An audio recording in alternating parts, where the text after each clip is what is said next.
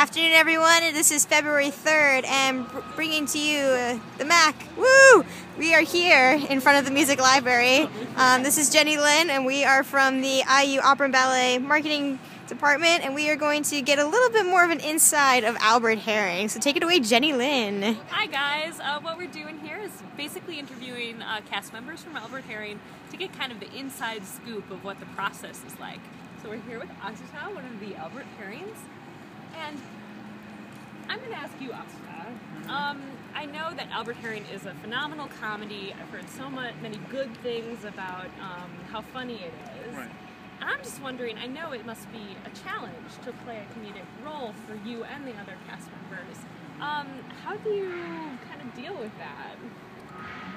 Well, a lot of the comedy is kind of written in already with the libretto because the librettist, Crozier, has within the characters themselves, because you have Albert, who's kind of like he's in the middle, and on either side you have the town council or, or you know the elders of the town, I would say, who are very you know traditional and you know they're they're sticklers to, for doing things correctly and properly, and then on the other side you have Sid and Nancy, Albert's friends, who who are kind of like they're kind of like the rebels and they you know they do things their own way and Albert's kind of in the middle of that, and he's trying to break, break away from his mom and the rest of the town and all the traditions. And just that setting itself provides a lot of humor. And Britten sets the music and set, sets the text hilariously sometimes. It's, I mean, you, you need to come see it to figure figure that part of it out. But um, the great thing with this production is James Marvel is our director, and he's one of the best directors I've ever worked with, firstly. And he's given us a lot of freedom to explore what we think is funny for each of our characters. And he's given us a lot of freedom to do what feels comfortable for us doing on stage.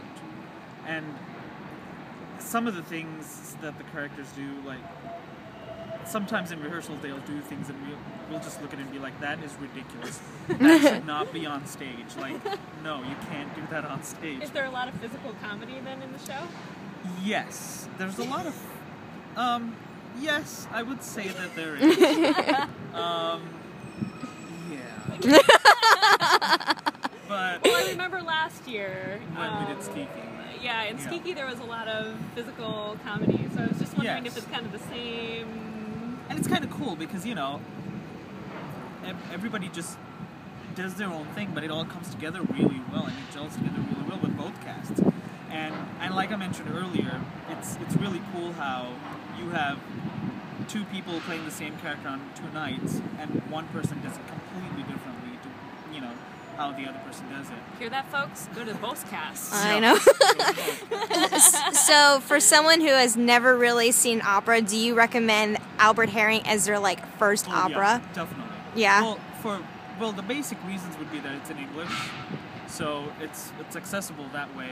Uh, But it is also relevant because it's taught. It, the main character Albert is this young guy who's trying to break away from tradition, and he's trying to you know find his own.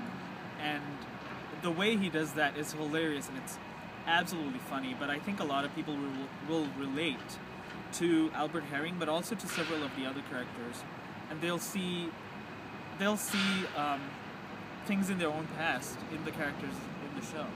So I think it's definitely something. If you've never watched an opera before, it's the perfect way to get into. It. And also maybe the fact that it's at the Buskirk Chumley Theater this time. Yes. It's a more intimate setting. Maybe Mhm. that would be less intimidating for a new opera goer. Awesome. Um, and also, it's it's been great for us uh, working to be able to do it at the Buskirk because it's a smaller theater, it's a smaller orchestra, and it's. I- I mean, I feel the schools should do things like this more often because it's more it's accessible to student voices.